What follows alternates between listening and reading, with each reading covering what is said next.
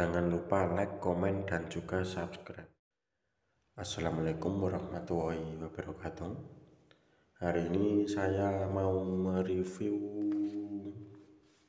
nih uh, surat dari Google AdSense yang di dalamnya itu ada berupa pin, pin untuk verifikasi tapi ini sebelumnya sudah saya buka ya ini yang pertamanya itu sudah uh, masih ada segelnya kayak gini yang di bawah kayak gini yang di samping juga ada tapi ini sudah saya buka.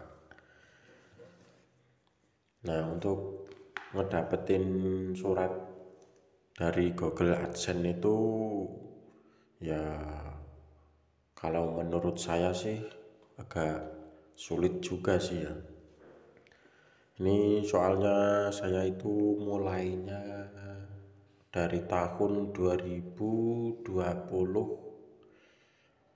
uh, perkiraan bulan Februari kalau nggak salah.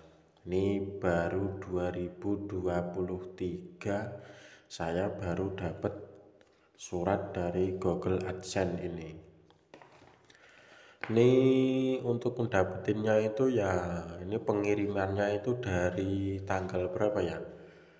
Kalau nggak salah tanggal 22 Desember. Terus terkirimnya itu tanggal 26 27 Januari berarti satu bulan lebih tiga hari ya. Nah ini dari alamatnya itu dari pengirimannya ini ya kalau nggak salah. Place return to locket bag nomor 1586 special project unit pos Malaysia International Hub. Pos Malaysia Berhead Jalan Kelia S1 uh, eh, ini bayaran pos jelas pos tag pahit pos Malaysia International Hub. Ini apa ya? Ini dari pengirimannya ya kalau nggak salah ya. Nah ini untuk nama alamat pengiriman saya itu kayak gini. Jadi ini suratnya itu enggak pakai sampul atau kertas yang lain. Jadi pengirimannya itu cuman kayak gini aja. Dari sananya itu memang kayak gini. Nah ini untuk di dalamnya itu uh, sebenarnya ini agak rahasia juga sih ya.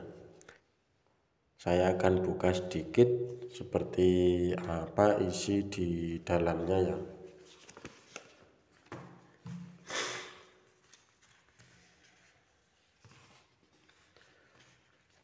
Nah, untuk in, isi di dalamnya itu kayak gini.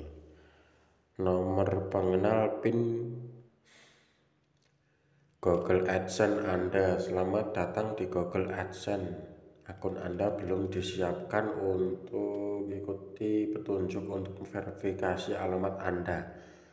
Petunjuk login ke sini, login ke alamat AdSense lalu di sini di belakang di belakang ada nomor PIN. Sebanyak 6 digit PIN. Tapi ini saya itu kemarin dapat teguran komunitas karena saya itu melanggar pedoman komunitas dan selama 90 hari saya itu dapat teguran yang aktif. Jadi ini verifikasinya masih tetap berjalan namun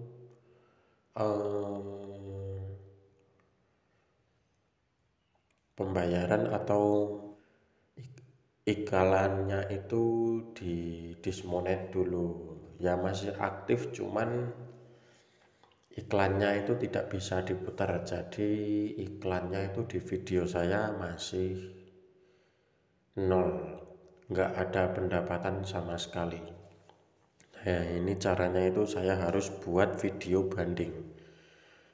Nah, kalau video bandingnya sudah lolos, nanti bisa dimonetisasi lagi.